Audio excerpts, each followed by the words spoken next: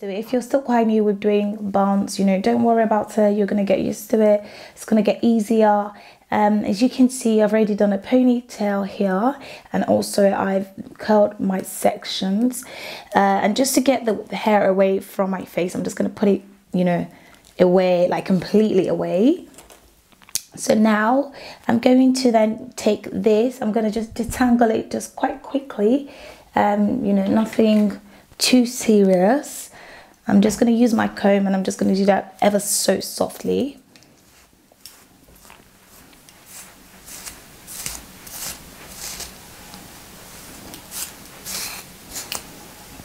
you guys can already see what I'm doing here. It's even like without adding any products, the hair looks absolutely like luscious. my clothes, my um, holding spray, and then I'm just gonna make sure that I secure exactly what I've done here.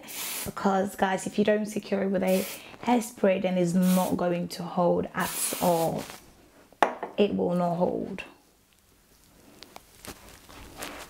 So again, I'm just going to make sure that I drag it down here because I don't want to have like a, um, a demarcation line here. So I want, I want to have a really effortless